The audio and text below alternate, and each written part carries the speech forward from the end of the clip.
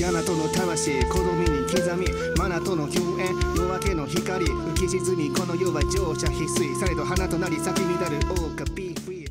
文化系トーク YouTube グランパンパースです。ベスティの皆様、快挙でございます。なんと、英語新聞に BE:FIRST のでっかい写真が載りました。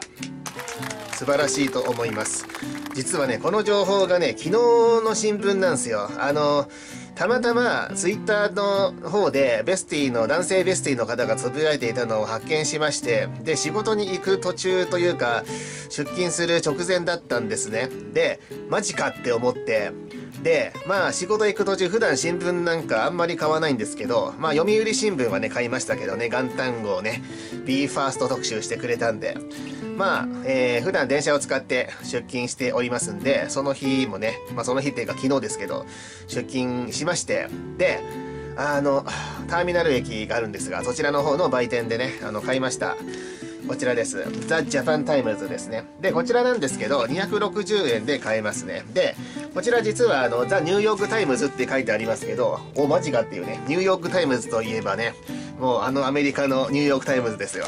で、こちらはですけど、ザ・ジャパンタイムズと一緒に、このニューヨークタイムズも一緒にあの、売ってます。だからまあある意味ね、260円ですが、このジャパンタイムズとニューヨークタイムズ両方見ることができますよっていう形ですよ。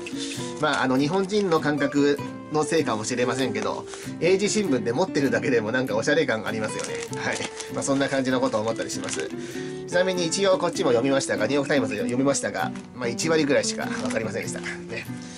はい。まあそんなことはいいんですけども。で、こちらなんですけど、えっ、ー、とね、いや、ほんと昨日これね、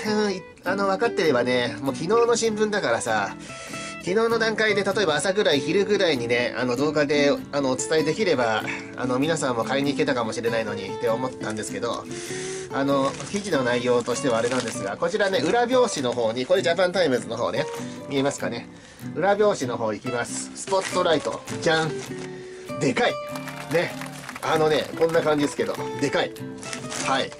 非常にね、でかいです。スポットライトという形で、What can we expect, expect from J-POP in 2022ということで、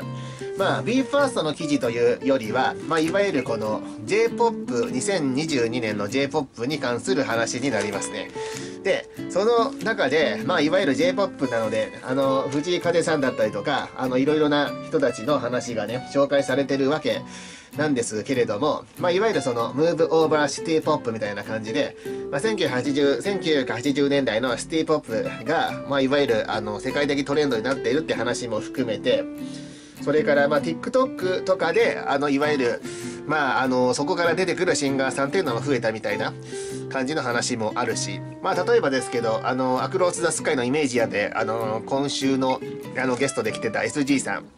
あの、韓国出身のシンガーさんですけれども、ノベルコア君のラブソングフィーチャリングで入ってましたけども、あの、彼なんかは、あの、まあ、TikTok とかそちらの方で、あの、ソロシンガーとして、YouTube や TikTok の方から出てきたっていう形、もともとバンドをやっていた方で、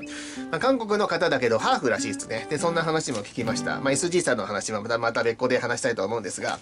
はい、まあ、その、こんな感じですよ。だから、あの、まあ、こちらですけど、やっぱりこの、このでかい写真が、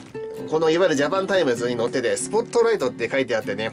すごくないですか？これ本当持ってるだけでもね、本当に誇り高いなと思うところですよ。ね。で、まあ、これね、ほんと昨日じゃなくて今日になっちゃったのが悔やまれるんですけど、バックナンバーを買うこともできるようです。で、あの、バックナンバーを注文するサイトを、あの、概要欄の方に貼っておきますので、そちらの方から行ってみてください。ただ、まあ、2、3週間くらいかかるっていうのと、まあ、あと在庫に限りがあるっていうところは当然ですけど、あとは2ヶ月前までの新聞だけはこう、2, 2ヶ月前までの新聞は保存してあるけど、2ヶ月過ぎちゃうと、っていう話もあります。っていうことでね、もしだからそうですね、皆様の、えっと、旦那様だったりとか、あのまあ、ご家族の方で、ニューヨークタイムズっていうか、ジャパンタイムズ普段買ってらっしゃる方いらっしゃいましたら、ぜひ、あの、BE:FIRST 載ってるんで、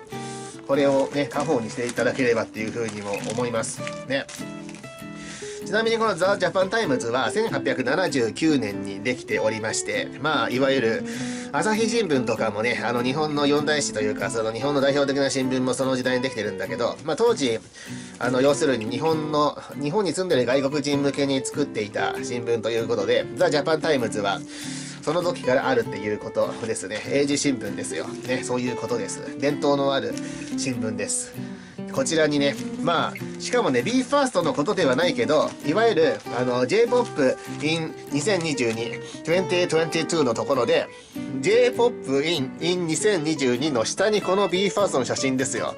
だから、もう J-POP の代表みたいな感じで捉えられてるっていうことですからね、非常に嬉しいじゃないですか。ね。またぜひ特集をしていただきたいですよね。いや、非常に嬉しい。で、まあ、例えばですけど、今からでもできることっていうのは、バックナンバーを買うっていうのもありますけど、ザ・ジャパンタイムズさんの方に、例えば、あの、リツイートをしたり、いいねをしたりとか、あと場合によってはコメントをしたりしてもいいかなって思います。で、ザ・ジャパンタイムズさんの方は、英語でそのツイッターの文章も書いてあるし、基本的に英語なんですけど、あの、編集部は日本人がやっているんです。で、あの、外国の特派員というか、そのライターさんとかは大量に、あの、雇っていて、この、あの、記事に関してもパトリックさんっていう方がライターとして書いていらっしゃったので、あの、そういうことなんですけれども、まあ、とにかくね、あの、まあ、コメントとか、まあ、日本、編集部、日本人ももちろんいるっていうか、日本人が編集長だったはずなので、2015年の記事だったけど、それはね、私が見たのは、でもまあ、今も多分そうだと思います。だからまあ、あの、日本語でコメントをしてももちろん読めるので、あのコメント欄に英語じゃなくて日本語でも大丈夫なので、お礼文とかをね、書くとすごくいいんじゃないかなっていう気がいたしますね。あの、ザ・ジャパンタイムズさんの方のツイッターはね、あの、そうだね、じゃあジャパンタイムズさんの方のツイッターリンクもあの概要欄に貼っておきますので、まあそんな感じで、あの、すごいことだなと思います。ちょうど職場に行く時に持ってったんで、職場で読んでたんですけどもね、あの、職場の方に、あの、いわゆる BE:FIRST のレオ推しの方がいらっしゃるので、その方にもこれ見せて、というかね、あの、私が読んでいたところに来てもらって、それで、あの、これ紹介しましたよ。ね。まあ、そんな感じで、こう、レオくん、レオくん推しの方なので、レオくんさしてましたけどもね。はい。いや、そんな感じでね、あの、これをだから持っておくと、例えばですけど、ベスティ活動なんかをするときに、あの、こういう風に、この英字新聞に載ってる子たちなのよっていう風にね、英字新聞載ってる人たちなんですよっていう風に言えるんで、このアイテムは非常にいいですよ。ね、本当に。ね、こうやって持ってるだけでもすごくあの自分たちの中でもねすごいこうなんかワクワクしますからねというわけで皆さんと共有しましたがこんな感じでねザ・ジャパンタイムズの方に載りましたからあのぜひぜひこれ皆さんに共有してあげてくださいはいちなみにニューヨークタイムズと一緒にあの来るっていうのありますがニューヨークタイムズっていうわけじゃないですねでもいずれはこのニューヨークタイムズの方にも載ってくるといいなって思ってますよねはいねニューヨークタイムズはい。はい。ではよかったらチャンネル登録お願いいたします。ではこの辺で失礼いたします。言いたいことは今日言っておくグランパンパスでした。果てしない空